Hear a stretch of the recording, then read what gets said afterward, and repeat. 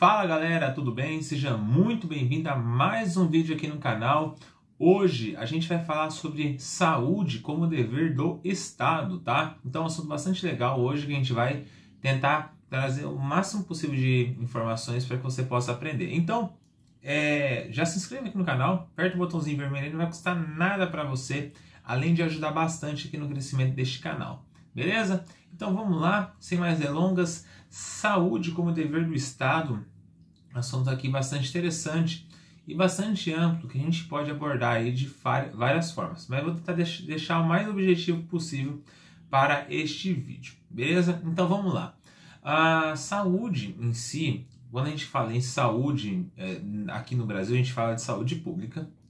E quando a gente fala de saúde pública, a gente já tem uma vinculação direta com o SUS. Então, hoje no Brasil, quem é, cuida da saúde é o SUS, Sistema Único de Saúde. A iniciativa privada ela trabalha de forma complementar, beleza? Então, essa é a primeira informação que você precisa saber. Então, toda vez que você fala quem que tem que cuidar da saúde é o SUS. Então, o Estado, através do SUS, ele traz essa política, né, traz essas ações e esse cumprimento do dever, tá? Então, é o órgão, digamos, é o, digamos que é o órgão responsável, né, que cuida dessa parte, tá? Sendo que a saúde é um direito das pessoas, tá? Quando a gente fala que é um direito das pessoas, é, é, é o contrário, podemos assim dizer, do dever do Estado. Dessa forma, o SUS é gratuito, existem formas de financiá-lo, né? E tem todo um, um conjunto de normas é, co colocados na própria Constituição Federal para que é, pudesse ser garantido né, esses direitos da pessoa e obrigar mesmo o Estado a cumprir esses direitos da maior forma possível na própria Constituição Federal, na nossa lei maior, tá? Então, além disso, é, a gente coloca aqui, a gente consegue ver que o, a, como que o Estado, né, ele, quando a gente fala Estado, a gente fala União, né, Ministério da Saúde, na parte federal, a nível estadual, nível municipal e distrital, tá? Então são todos aí os é, entes da federação responsáveis aí é, no cuidado da saúde, beleza? Então é uma obrigação do Estado, direito do, do direito nosso, né, gratuito, universal, ou seja, atendimento para todas as pessoas, inclusive as estrangeiras. Uma coisa que muita gente às vezes tem dúvida, os estrangeiros também têm direito, tá, a esse acesso, tá? Então, bastante importante aí.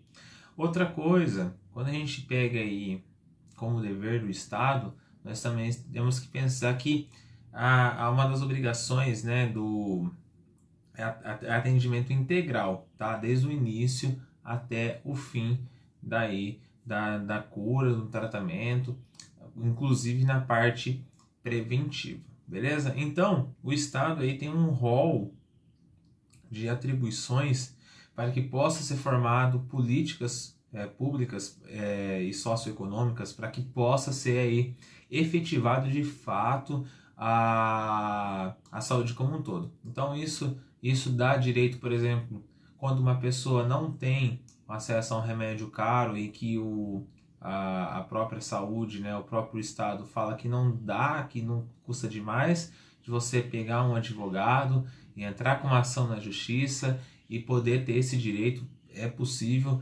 E normalmente, né, fazendo um trabalho bem feito, normalmente é dado esse, esse direito, porque o Estado ele tá com essa responsabilidade aí, tá? entendeu? Pelo menos para garantir aí o mínimo existencial para as pessoas viverem de uma forma pelo menos aí digna, tá? É claro que isso também é uma forma, né, de aos poucos vai ter vai, vai ser evoluindo, né? Tipo, ainda temos muito ainda a evoluir na saúde como um todo, mas é, o básico, né, para que você entenda aí como que é a obrigatoriedade da, do Estado eu já delimitei aqui para vocês no vídeo de hoje, beleza? Se vocês quiserem mais informações, mais conteúdo, não só para esse assunto, mas para os demais que podem abranger aí. No seu edital, é, eu tenho também, né, tá até na capa aqui, na descrição do vídeo, meu contato para vocês adquirirem materiais aí que vão ser de 15, 20, 25 reais. Eu mando tudo aqui que eu tenho. É um material bem legal que vai te ajudar nos seus estudos.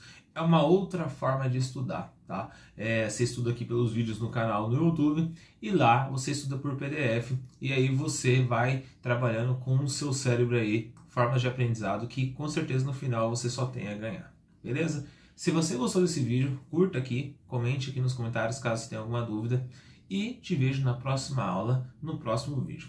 Até mais, tchau, tchau.